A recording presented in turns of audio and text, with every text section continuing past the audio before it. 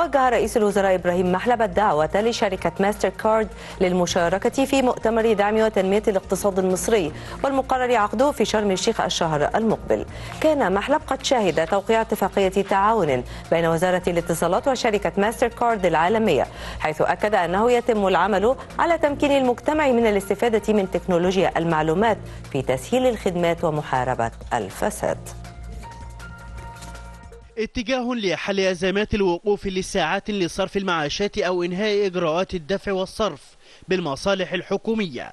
فاتفاقية وقعت بين الحكومة المصرية ممثلة بوزارة الاتصالات وإحدى الشركات العالمية المتخصصة في البطاقات الإلكترونية.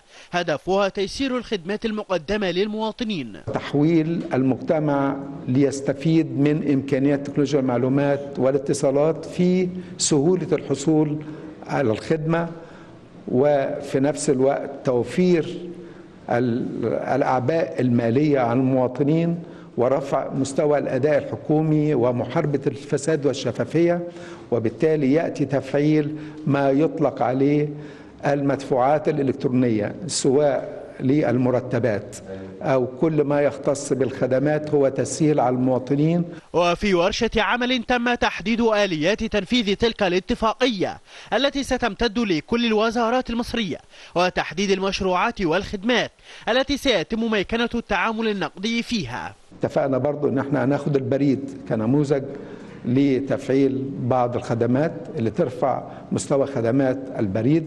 اتفقنا ان إحنا هنعمل مركز للابتكار والابداع عن طريق شركة مصر ماستر كارد اتفقنا ان إحنا هنحط استراتيجية مجمعة تحقق في النهاية الاستفادة القصوى من هذه الخدمات والابتكارات اللي موجودة من شركة عالمية زي شركة ماستر كارد.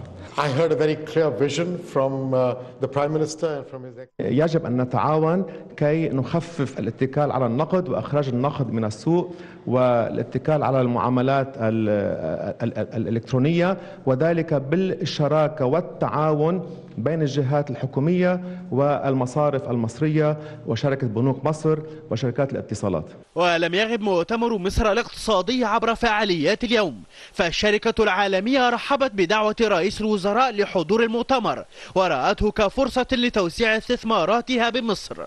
انطلاقة تكنولوجية تمنح مصر ثقة عالمية بقدرة اقتصادها على النمو فهي خطوة لتيسير الخدمات المقدمة للمواطنين والقضاء على الفساد والبيروقراطية عبر نشر التعاملات الإلكترونية.